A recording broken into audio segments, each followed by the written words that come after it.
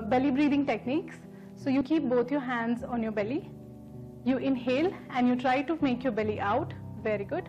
Exhale and tuck it in as much as possible, taking it towards your spine. Hold it. Again, belly out with the inhale, taking it in again, back, trying to make sure that the gap which is present there is squeezing it in.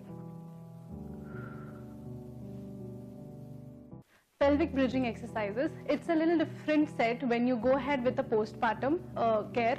So what you need to do, the gap which you have felt between your rectus abdominis muscle, you need to squeeze that gap in. So we do a tummy tucking, we squeeze our buttock muscles and we do a raising of hip up. Hold it again for a count of 1, 2, 3, 4, 5, 6, 7, 8, 9, 10 and slowly down. Throughout the process, you have to be breathing normally.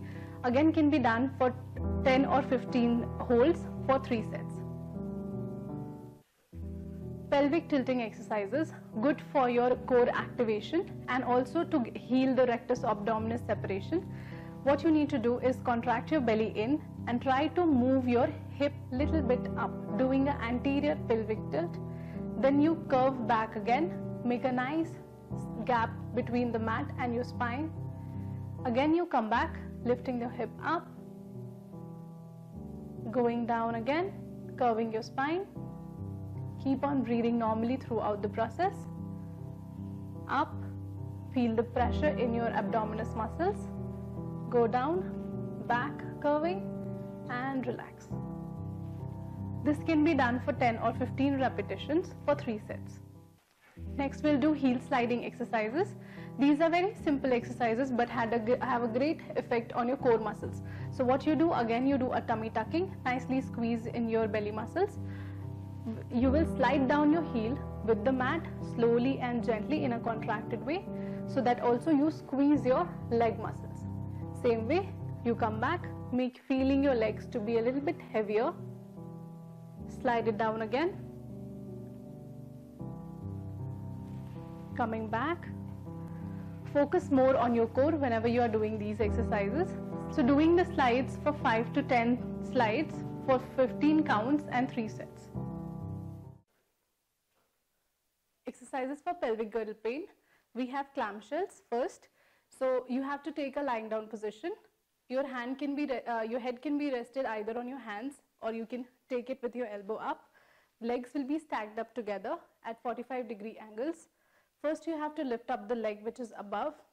Just make sure you are not bending your pelvis too much back. Coming back down. Very good. Again bringing it back to up.